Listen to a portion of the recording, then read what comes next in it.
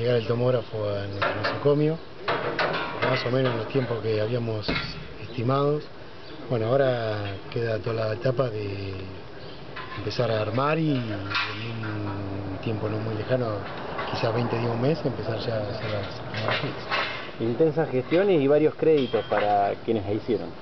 Sí, bueno, obviamente que nosotros quizás nos llevamos, agarramos la última posta, por llamarlo de alguna manera, pero bueno, yo quiero agradecer a todos los que hicieron posible esta, realidad, a la dirección anterior y bueno, eh, posteriormente nosotros tomando la posta y siguiendo con, esta gestión, al, bueno, lo que terminamos de concretarlo, al, diputado Walter Abarca, a nuestro ministro de Salud de provincia y de Nación, doctor Mansur y doctor Colia, para, bueno, obviamente para todo dar esfuerzo y esto que decía una realidad que nosotros tenemos un hospital en el cual hemos trabajado para, para ya ponerlo como referencia en lo que sea politrauma, emergencia y demás.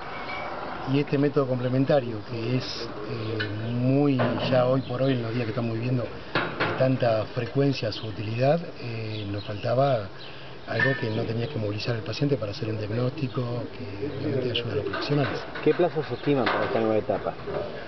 Nosotros, eh, como ya lo, yo lo he transmitido en otras, en otras notas, eh, lo que hemos hecho es eh, toda la obra civil, que es lo que nos compete a nosotros. Ahora estamos en la etapa del armado, eh, que va a llevar eh, aproximadamente entre una y dos semanas, y la capacitación del personal, que estimativamente estaríamos hablando de 30 días aproximadamente. Bueno, y como toda aparatología que llega, obviamente tenés que tener recursos humanos. Nosotros también estamos gestionando esa situación de tener, eh, de reforzar el equipo de, de, diagnóstico por imágenes, trayendo a un especialista en lo que sea informe de tomografía y demás, ya está hablado.